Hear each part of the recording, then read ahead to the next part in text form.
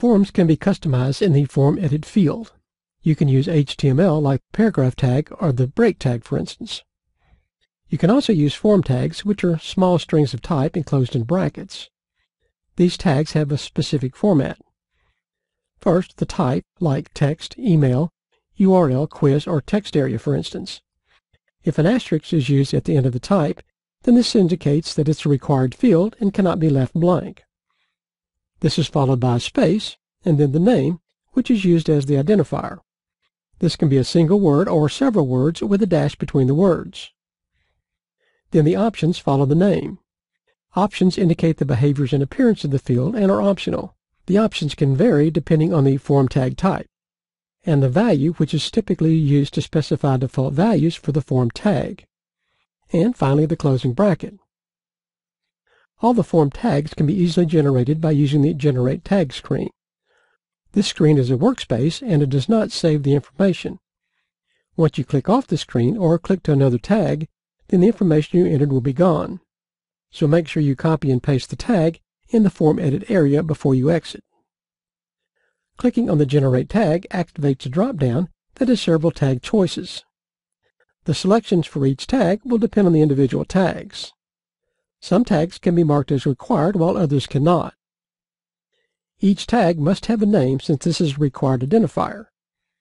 Enter the identifier name using numbers, letters, and the hyphen, no spaces. The ID and the class are optional and are used to target the tag for CSS styling like color, font, and size for instance.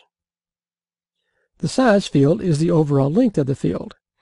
Enter 40 and the field will be 40 characters long. Not to be confused with the max length, which is how many characters are allowed in this field. Enter 10, and only 10 characters can be entered in the field. These fields also have the convenient spinner to fine-tune the numbers. The Akismet checkbox is used when integrating Contact Form 7 with the WordPress spam filter.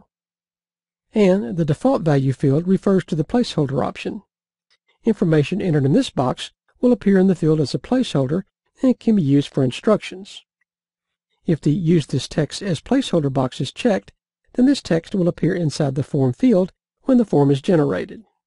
For instance, if I enter Enter Project Details as the default value and check the placeholder box, then this text is placed in the code as a placeholder and will appear inside the form field when the form is generated. The last two boxes are for copying and pasting the code. The first box is used in the Form Edit box, and the last box is used in the Mail section box below.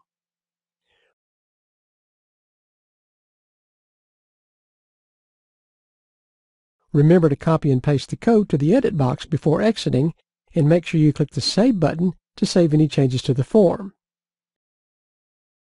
Now when you copy the new shortcode to the page,